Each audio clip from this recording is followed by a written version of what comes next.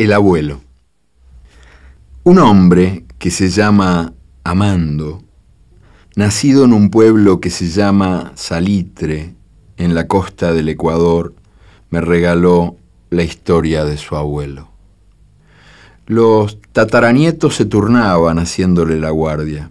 En la puerta le habían puesto candado y cadena. Don Segundo Hidalgo decía que de ahí le venían los achaques. Tengo reuma de gato castrado, se quejaba. A los cien años cumplidos, don Segundo aprovechaba cualquier descuido, montaba en pelo y se escapaba a buscar novias por ahí. Nadie sabía tanto de mujeres y de caballos. Él había poblado esa aldea de Salitre y la comarca y la región desde que fue padre por primera vez a los trece años. El abuelo confesaba 300 mujeres, aunque todo el mundo sabía que habían sido más de 400.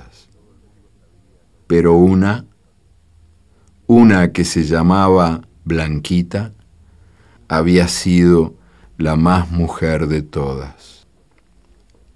Hacía 30 años que había muerto Blanquita, y él la convocaba todavía a la hora del crepúsculo. Amando, el nieto, el que me regaló esta historia, se escondía y espiaba la ceremonia secreta.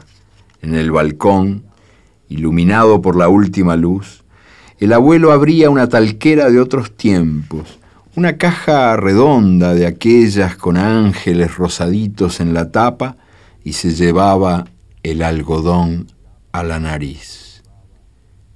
Creo que te conozco, murmuraba aspirando el leve perfume de aquel polvo. Creo que te conozco. Y muy suavemente se balanceaba, dormitando murmullos en la mecedora. Al atardecer de cada día, el abuelo cumplía su homenaje a la más amada, y una vez por semana la traicionaba. Le era infiel con una gorda que cocinaba recetas complicadísimas en la televisión. El abuelo, dueño del primer y único televisor del pueblo de Salitre, jamás se perdía ese programa.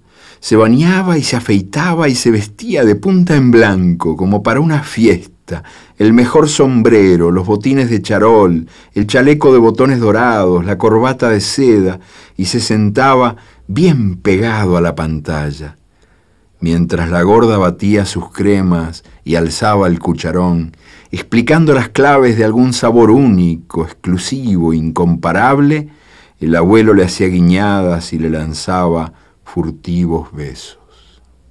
La libreta de ahorros del banco asomaba en el bolsillo de arriba del traje. El abuelo ponía la libreta así, insinuadita, como al descuido, para que la gorda viera que él no era un pobre pelagatos.